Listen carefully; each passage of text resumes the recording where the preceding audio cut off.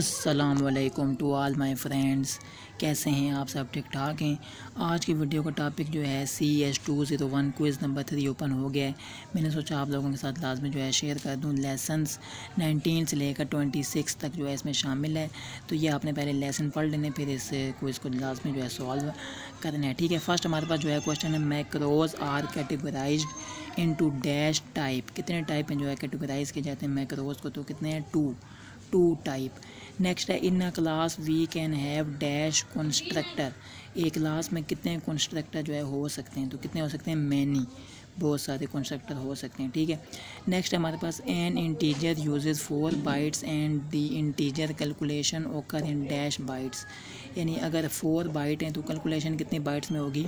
Four bytes में ही होगी, ठीक है? फोर बाइट्स नेक्स्ट है the memory allocation functions return a chunk of memory with the pointer of type कौन सी टाइप होगी? Void V O I D void type next हमारे पास फाइव क्वेश्चन है. The data content in the structure is defined in the किस structure में जो है डिफाइन किया जाता है? Curly braces curly braces next हमारे पास six question the malloc function takes dash argument तो यहाँ पे क्या आएगा? हमारे पास वन आर्गूमेंट ठीक है वन आर्गूमेंट नेक्स्ट हमारे पास the dynamic memory allocation uses dash where है static memory allocation use dash ये दो जो है डैश हैं, इसमें आपने बतानी है।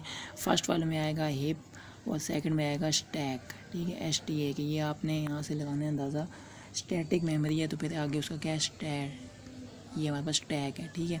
और ये डायनेमिक वाला जो है, दूसरा जो भी रह गया हिप वो यहाँ पे आएगा। नेक्स्ट हमारे पास जो है एट क्वेश्चन है by writing of file seek G fifteen और आगे लिखा हुआ है एल यानी कि left I U S C U R का मतलब है करंट वी आर मूविंग हम मूव होंगे. Fifteen bytes in the forward direction starting from the current position next हमारे पास nine question for converting a void type pointer P T R into integer type the correct syntaxes correct syntax हमने बताना है तो क्या होगा? ये हमारे पास है small bracket and asterisk P T R ठीक है, ये जो है, इसका सेंटेक्स है कन्वर्ट करने के लिए। नेक्स्ट हमारे पास टेन क्वेश्चन है विंडोज़ ऑपरेटिंग सिस्टम में itself takes memory from heap H E A P heap next हमारे पास एलेवन क्वेश्चन है dash is use for input file और for reading from the file input के लिए कौन सा जो है इस्तेमाल होता है?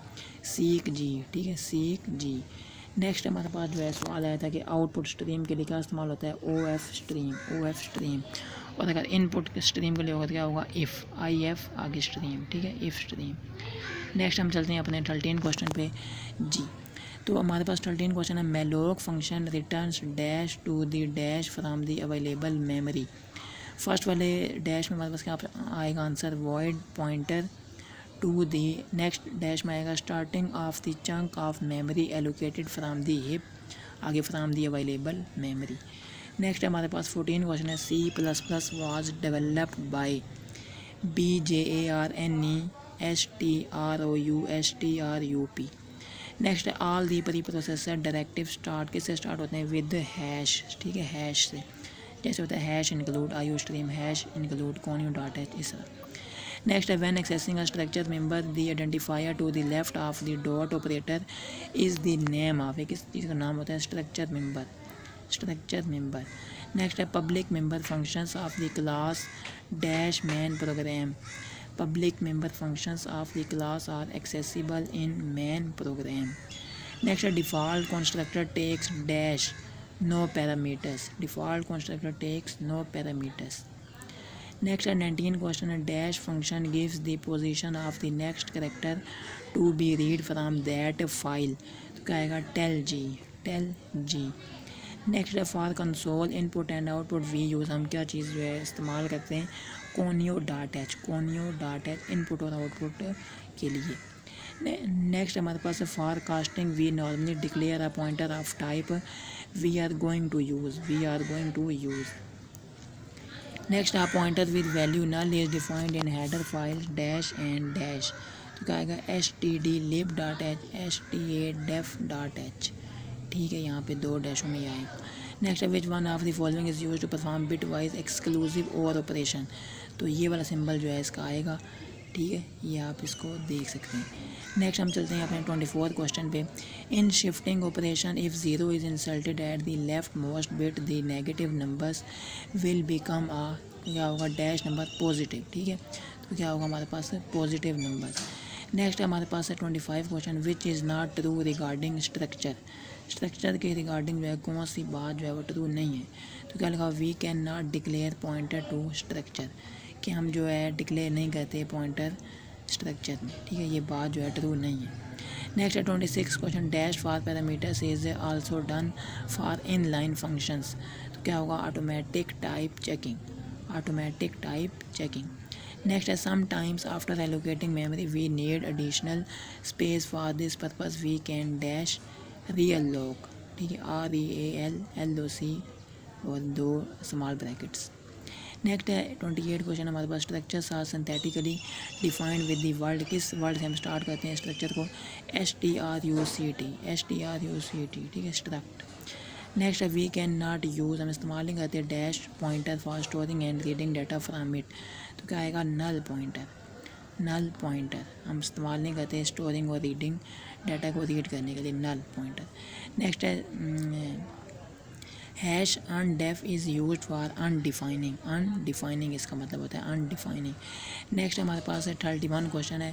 Which one of the following is use to perform bitwise और ऑपरेशन जो ऊपर वाला था, वहाँ पे क्या था? बिट वाइज एक्सक्लूसिव और यहाँ पे क्या है? बिट वाइज और ऑपरेशन तो इसमें हमारे पास क्या आएगा? ये एक यानी वन की तरह का साइन है यानी इसे कहते हैं और ठीक है? ये हमारे पास सिंपल इसमें आएगा।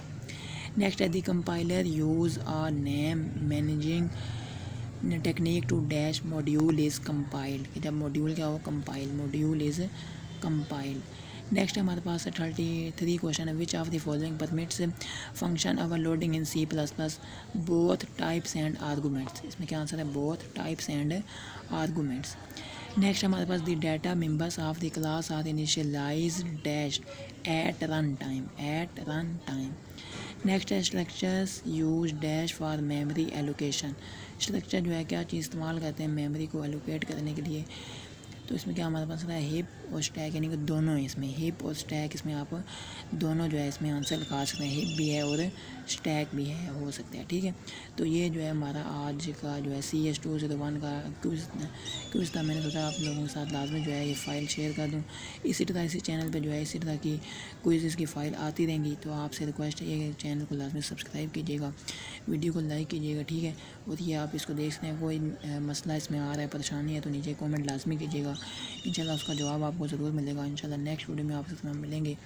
असल वरहमल रहमतुल्लाहि व बरकातहू